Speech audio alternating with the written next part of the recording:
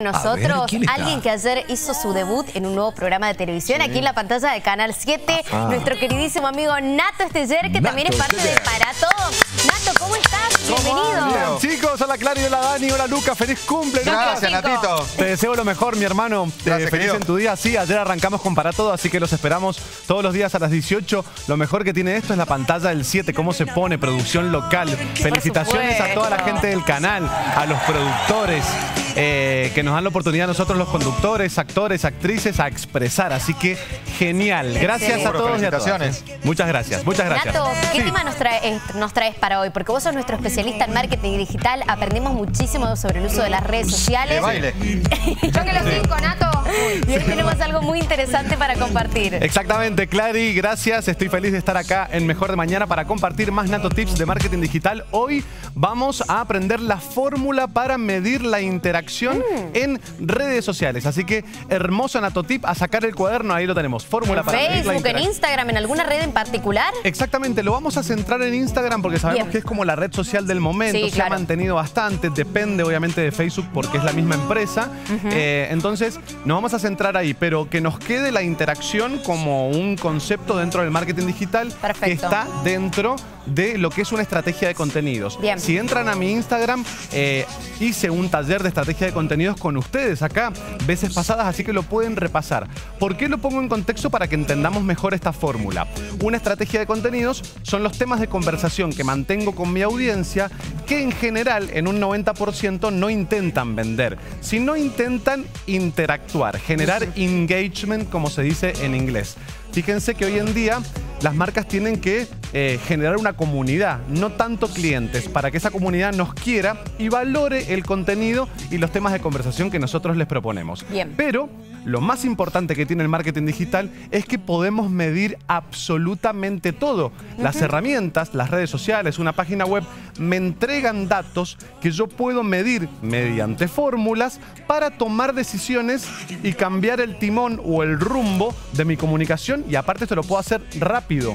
En dos semanas que yo implemento una estrategia de contenidos, ya me doy cuenta qué sirve y qué no sirve Claro. mediante datos ¿Qué concretos. contenido tuvo me gusta? ¿A cuál le Absolutamente. gustó a tu público y cuál pasó quizás más desapercibido? Absolutamente. Y aparte, eh, me puedo dar cuenta que eh, puedo mantener una línea de contenido, un tema de conversación y cambiarle el punto de vista, cambiarle el formato. Entonces, no es solamente desechar cosas, sino cambiar la forma y el recurso que utilizamos para comunicarlo. Así que, muy importante este Nato Tip. Seguimos con la siguiente placa. Excelente. Que tiene que ver con...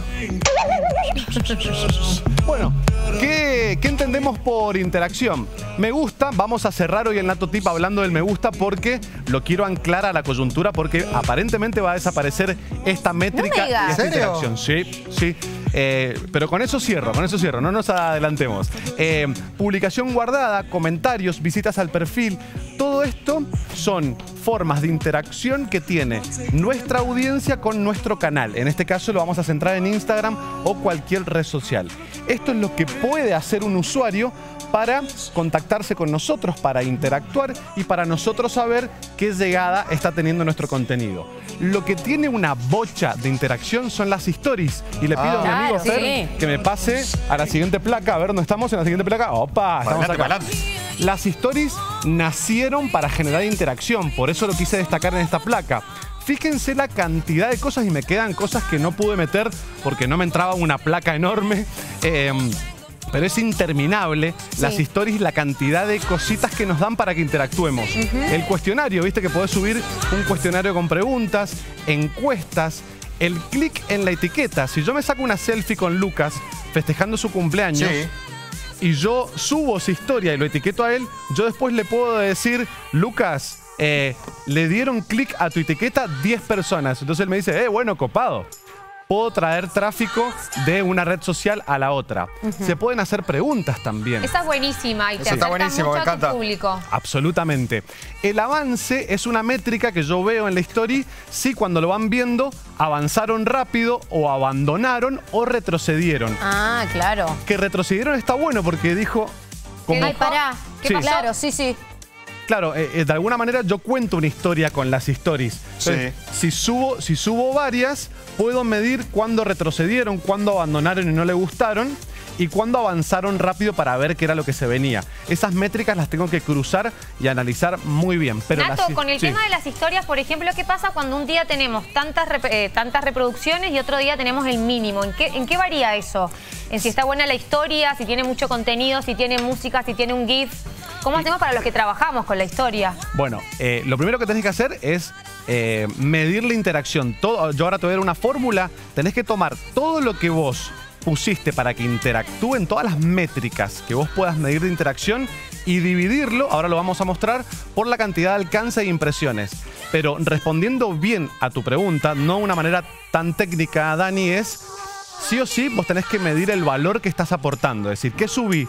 Subí un video copado, subí eh, solamente una pieza gráfica en la cual por ahí estaba la letra muy chica. Tenés que analizar bien cuál fue el aporte de valor Claro. y si está dentro de tu estrategia de contenidos. Porque uno por ahí sube cosas al azar, pero que no están atadas a la estrategia. Así que Ah, vos. atención. Lo primero es humanizarse uno como comunicador y la marca decir, a ver esto, ¿realmente aportó valor y, y estaba dentro de mi estrategia? Eso es lo primero que tenemos que analizar.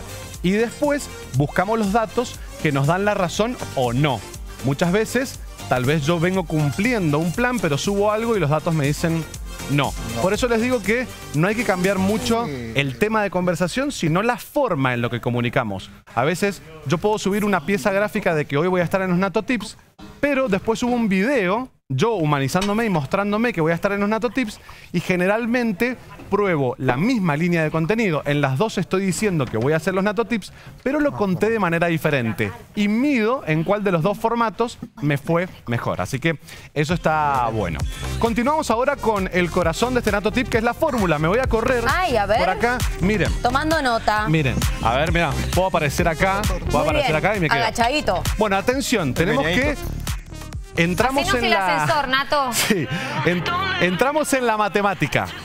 Arriba pongo la interacción. Ajá. Me gusta, comentarios, guardo todo lo que vimos recién y toda la particularidad que tenga la red social en materia de interacción, lo pongo arriba. Sí. Y lo divido por el alcance o las impresiones. Pero Nato, Sí. eso lo hago con una publicación en particular. Suponete, agarro la última foto o videito que subí y lo hago con los datos de eso nomás. Buenísima la pregunta, sí.